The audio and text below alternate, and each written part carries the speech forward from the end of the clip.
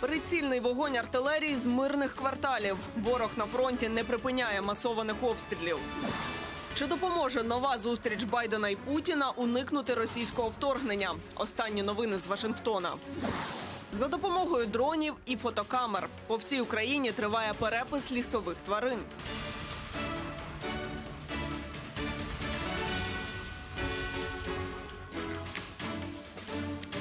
Говоримо про найважливіше за день. В ефірі новини. Мене звати Ольга Сас. Добрий вечір. Від початку доби на фронті вже понад 50 ворожих атак. Окупаційні війська б'ють із гармат, мінометів, гранатометів і протитанкових ракетних комплексів. Скидають на наші позиції гранати за допомогою безпілотників. Чотири військовослужбовця об'єднаних сил отримали осколкові поранення. Під вогонь ворожої артилерії знову потрапили цивільні об'єкти, зокрема у Пісках, Авдіївці, Зайцевому, Луганському і Троїцькому. У щасті через обстріли сталася пожежа на місцевій ТЕС. Частково припинено електро та теплопостачання міста. Більше про ситуацію на фронті Станіслав Кухарчук. Вот горит. Уже четвертый или пятый прилет. Стоим, сидим в подвале, боимся. А я одна, никого нету. Куда лететь? не- О! Упала. Ось таке пекло сьогодні зранку відбувається на Луганщині разом із позиціями наших армійців під масованими обстрілами окупантів. Мирне селище Врубівка та місто щастя. На цьому напрямку вояки такої ворожої активності давно не бачили. Б'ють е, здалека, дуже здалека, тому що нараховуємо від виходу до приходу від 20 до 30 секунд. Я, наприклад, з 14 року, ну я давно такого не чув. Дійсно, така інтенсивність ну не було такого. Під вогнем противника й Донецький напрямок потрапити на позиції під окупованим селищем Ясинувате нам вдається лише проміжку між артнальотами. Ці позиції супротивник накрив щільним вогнем буквально за годину до нашого приїзду. І це ще не кінець, кажуть військові, тому радять нам спуститися під землю. Єдине укриття тут ось так, в окопах, по-іншому не можна. Та, схоже, і окопи від важкої артилерії не надто допомагають. Свіжими уламками тут всіяно все навкруги. Це 120 на КБ. Це два наката допомагають. 4 десь. Разом із позиціями армійців ворожі снаряди і міни накрили ще й околиці Кам'янки. Пан Ярослав на війні ще з 14-го. Каже, така активність схожа на масовану артпідготовку перед наступом. Почалося, що плотно-плотно, це днів три. От плотно, взагалі плотно. Ночі чули таке, як працював танк. Ну, утверждати не буде. Втім, і наші військові у боргу не залишаються. Щоправда, придушити всі вогневі точки нашим хлопцям не дозволяє підступність ворога. Вони стріляють здебільшого з населених пунктів. Їхні пункти управління знаходяться в районі дитячих таборів, шкіл. Ну, тактика противника, вона вже давно всім знайома. Ми не можемо вести по ним такий прицільний вогонь, тому що вони, ну, попросту кажучи, закриваються мирним населенням. Ситуація на фронті загострюється не те, що з кожним днем і з кожною годиною. Та до можливого наступу окупантів наші оборонці готові як ніколи. Станіслав Кухарчук, Сергій Дубінін, Ігор Щепет. Новини телеканал Інтер. Донеччина. А в Росії й далі поширюють фейки про агресивних сусідів. Так ФСБ повідомила про український снаряд, що поцілив у російський прикордонний пункт на хуторі Щербаково в Ростовській області. Об'єкт повністю зруйновано, ніхто з прикордонників не постраждав.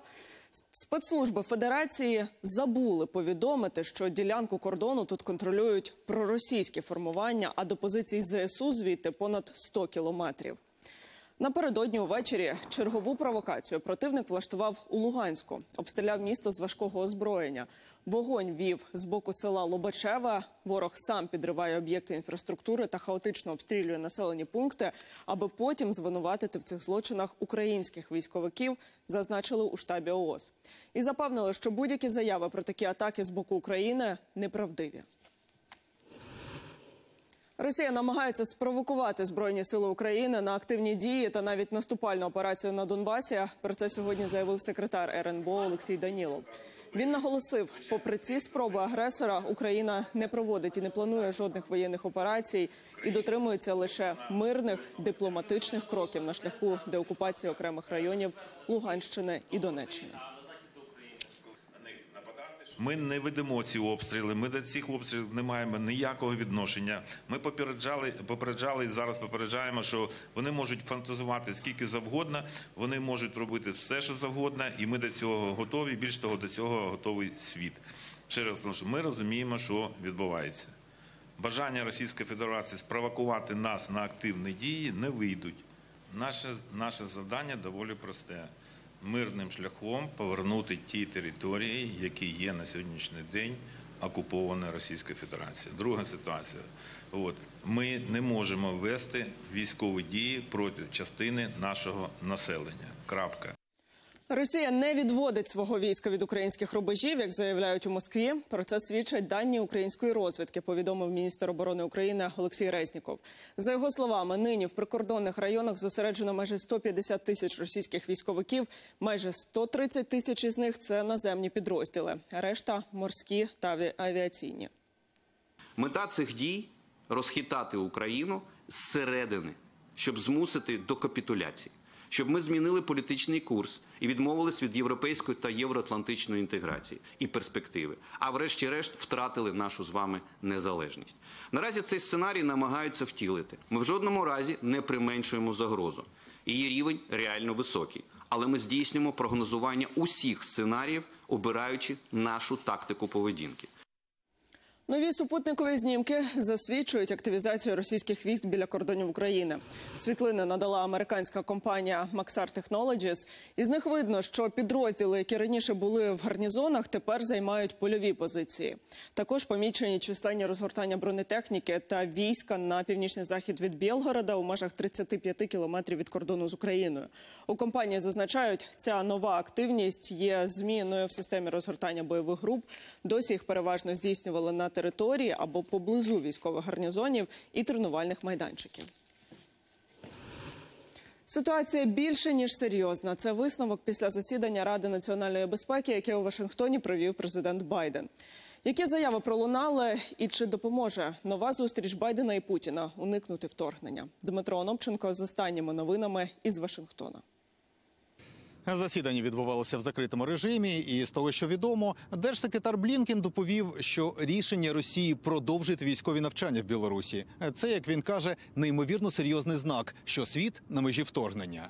Американські чиновники кажуть, їхні найгірші прогнози підтверджуються, але для дипломатії і досі є місце. І два наступні дипломатичні кроки: це зустріч Блінкена із міністром Лавровим вже цього четверга. І це новий розвиток подій. Париж повідомив про згоду президентів США Росії провести у Франції новий саміт із питань безпеки. Макрон напередодні двічі говорив з Путіним, зізвонювався з Байденом, телефонував у Київ, Берлін, Лондон і у підсумку отримав згоду на цю паризьку зустріч. І вона теж покликана стати певним фактором стримування сама по собі, оскільки відбудеться лише за умови, що нападу не буде. Білий дім поширив щодо цього офіційну заяву. Ми є прихильниками продовження дипломатії до моменту, поки не почнеться вторгнення. Держсекретар Блінкен і міністр закордонних справ Лавров мають зустрітися цього тижня в Європі за умови, що Росія не розпочне військових дій. Президент Байден у принципі погодився побачитися з президентом Путіним після цієї зустрічі. Знову ж таки, якщо вторгнення не станеться, ми завжди готові до дипломатії. Водночас у тій же заяві Білий Дім попереджає про готовність до швидких і суворих санкцій, якщо Росія замість цього вибере війну. І є ще тривожні слова, що я процитую: Росія зараз продовжує підготовку до повномасштабного нападу на Україну найближчим часом. Ну і ще важливий момент. Е, Позиція американської адміністрації її ще раз підтвердив зараз глава держдепу. Попереджувальні санкції проти Москви поки що не запроваджувати, оскільки тоді вони втратять ефект стримування. Тобто, в цьому питанні на зустріч Києву, а саме Україна просить не затягувати із санкціями, не підуть. Водночас Блінкен каже, і це раз зараз підтверджує і Пентагон. Сполучені Штати впевнені у достовірності своєї розвідувальної інформації. І прогноз США, мовляв, все, що робить Росія, це не блєф, за словами США, повністю підтверджується. Із Вашингтона Дмитро Анопченко, Сергій Коваль, американське бюро телеканалу Інтер. Американські солдати розпочали навчання в Польщі неподалік від українського кордону. Вояки двох країн відпрацьовували різні схеми та прийоми, зокрема з використанням військової техніки. Після посилення американського контингенту в лютому кількість вояків США в Польщі сягнула 10 тисяч. У держдепі Сполучених Штатів зазначили, що такі дії НАТО оборонні та співмірні маневрам, які Росія проводить на території Білорусі.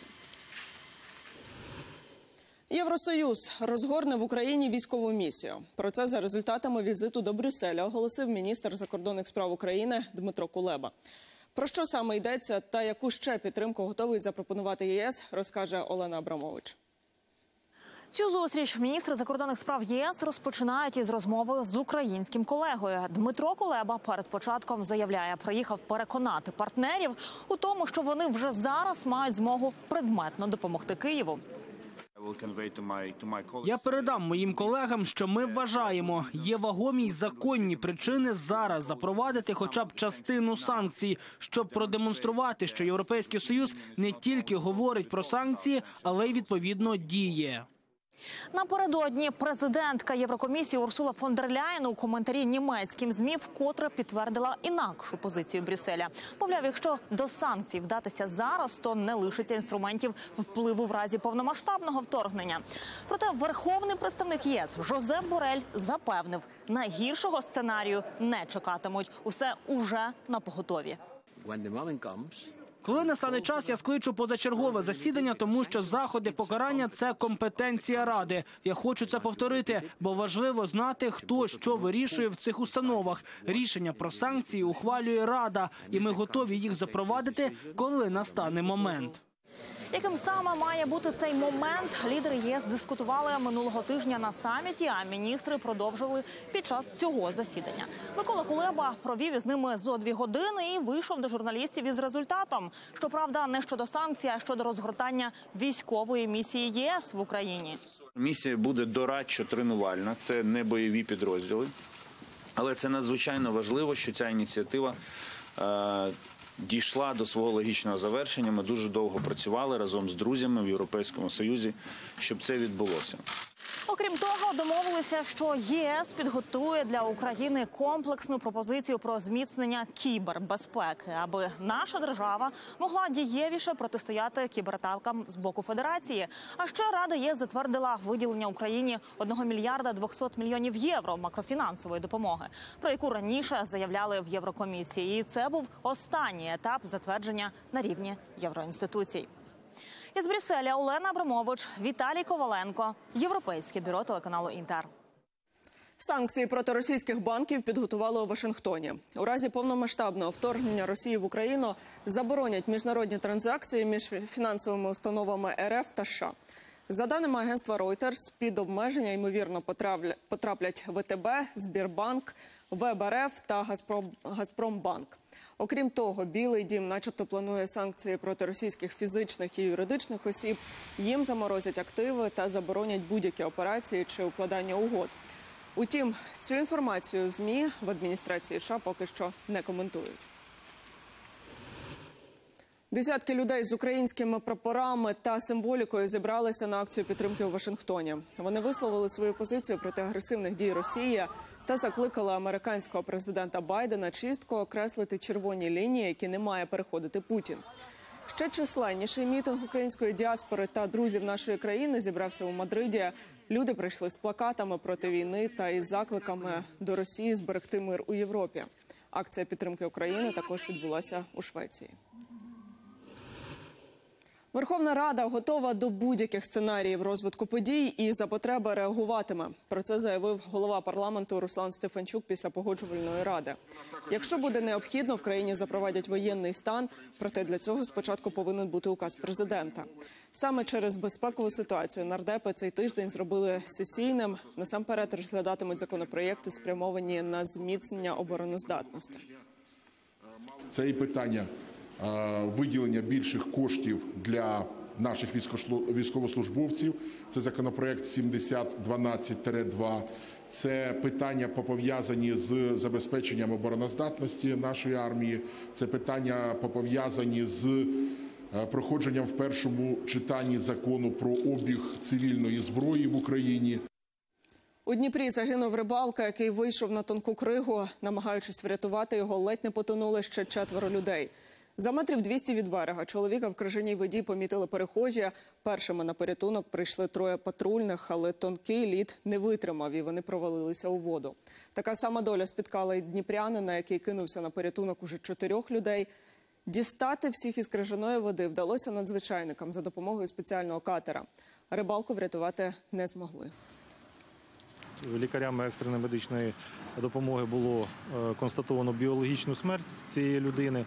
Е, Підрозділами проводились дії стосовно рятування е, потерпілих, які були найближче до берега.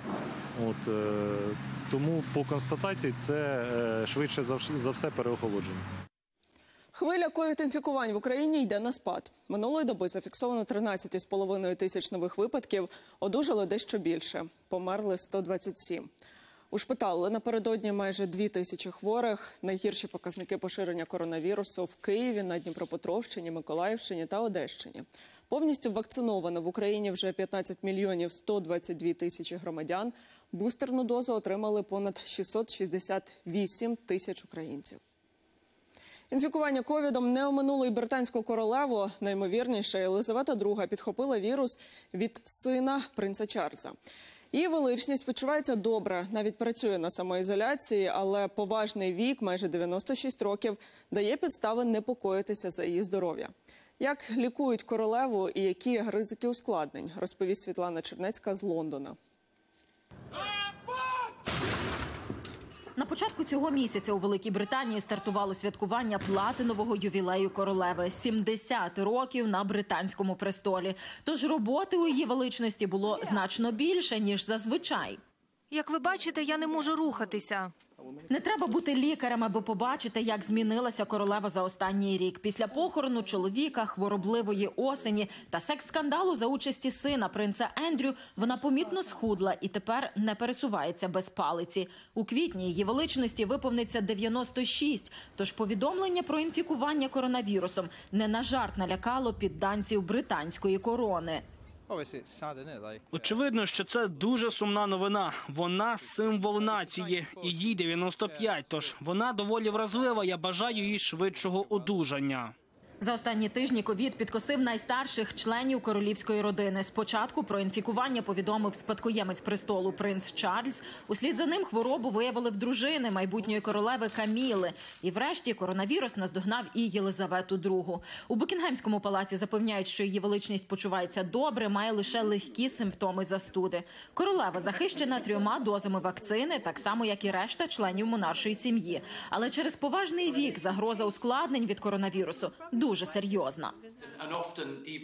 За будь-якою людиною в такому віці ретельно спостерігатимуть. Загалом перебіг омікрона значно легший, але є певні застереження щодо нового підвиду BA2, Тож їй напевно даватимуть противірусні препарати.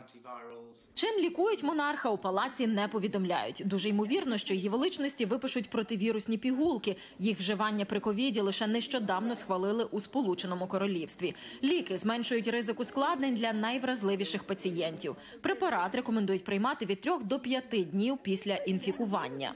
У Букінгемському палаці заявляють, королева почувається так добре, що навіть продовжує працювати. Звісно, не буде жодних прийомів і зустрічей віч навіч. Однак її величність, зокрема, читатиме урядові документи, які потребують підпису та схвалення. Зазвичай це забирає левову частку її робочого часу.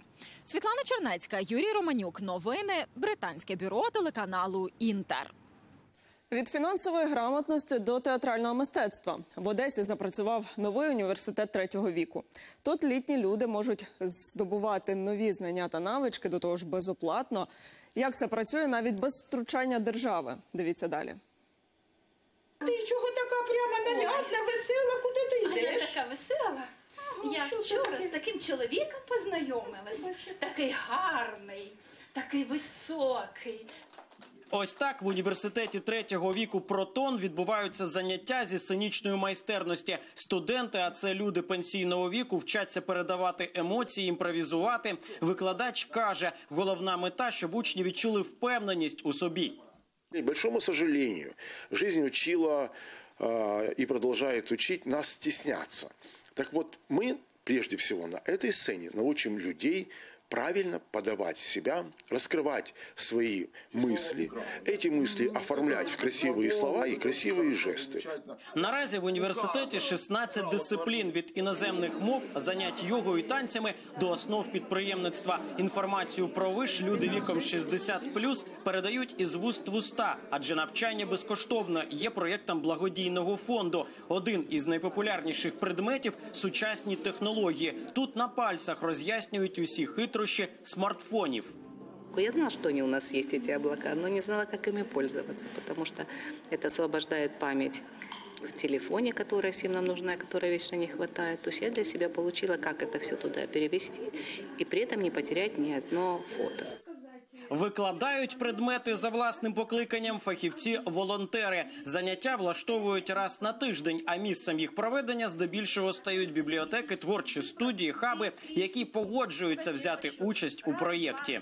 Тобто один студент протягом дня може відвідати три, чотири або одне-два заняття. Залежить від того, скільки він вибрав для себе. Студент е, е, телефонує нам або заходить на сайт, залишає своє замовлення. Е, ми на його електронну адресу відправляємо анкету, де він бачить, які предмети ми пропонуємо. Філіали університету працюють уже в кількох регіонах країни. Головна його мета, щоб люди літнього віку не залишалися на самоті, набували нових знань, ідей і головне мали можливість їх реалізувати. Андрій Анастасов, Ігор Міханошин, новини телеканал Інтер, Одеса. Перепис диких тварин по всій Україні триває облік звірини, що мешкає в лісах. Оленів, зубрів, косуль, лисиць, зайців і кабанів підраховують після сезону полювання. Навіщо це роблять та як вистежити звірів, щоб зібрати їх на перепис? Єгері та мисливці показали нашій знімальній групі. Квадрокоптер піднімають над лісом. Так із неба в мисливських угіддях ківерцівського лісового господарства рахують тварин. Ми якраз знайшли оленів. Табун складається десь приблизно 10 оленів. З неба добре видно, де і що роблять лісові мешканці. Окрім відеокамери, дрон оснащений ще й тепловізором. Ось міряються рогами плямисті олені. У тутешніх лісах біля села Муравище цих тварин чи не найбільше. Неподалік поволі походжає стадо червонокнижних зубрів. Вони практично на дрон не реагують. Он навіть видно собі чеше живота і навіть не, не, не дивиться на, на дрон. Зубри, лосі, олені благородні, олені плямисті, лисиці, зайці, вовки. Ми спостерігаємо за ними, як вони себе поводять. Е, Так само готуємось до, до полювання, щоб знати е, в певних угіддях, які є тварини. Майже 8 тисяч гектарів угідь дроном облетіли лише за кілька днів. Минулому році було 120 плямистих оленів. В цьому році ми вже бачимо приріст їх близько 200. Так само приріст є благородного оленя і наших червонокнижних зубрів стало на три більше. Дуже важливо знати облік, що знаходиться в лісі, для того, щоб розуміти, скільки заготовити кормів, скільки є тварин, які підлягають сел- селекційному відстрілу. Допомагають і фотопастки. Їх у Держлісгоспах Волині майже три сотні. Автоматично, коли приходить звір, загорається індикатор, вона фотографує, передає як на телефон, так і записує на карту пам'яті. Без сучасної техніки провести облік тварин надто складно, кажуть єгері. Зазвичай лісгоспи використовують метод прогону. Це розставляються люди по квартальних лініях на спостережній вежі, і, е, які проводять облік, а інша частина людей йде на загонку, проганяє через, е, через тих людей, що проводять облік е, звірів. І тоді кожен скільки звіра побачить, стільки прораховує. Такий підрахунок у лісах Волині проводиться тричі на рік. для того, щоб е, мати оперативні дані про чисельність мисливських тварин на конкретних територіях. І на основі фі- зафіксованої чисельності плануються подальші господарські заходи. Перепис диких тварин на Волині ще триває, але за попередніми підрахунками найбільше тут зайців – понад 30 тисяч, а найменше зубрів – лише за два десятки. Загалом у тутешніх лісах мешкає понад 70 тисяч тварин. Сніжана Сидорук, Микола Василюк, новини, телеканал Інтер, Волинська область. Екосистема Антарктиди під загрозою. На континенті лише два види рослин, але за останні десятиліття вони надто стрімко розростаються. На думку науковців університету Інсубрії, трав'яним стало комфортніше в Антарктиді на тлі кліматичних змін. І подальше підвищення температури дозволить цим рослинам колонізувати материк, а це становить пряму загрозу унікальному середовищу регіону, бо порушує його біорізноманіття.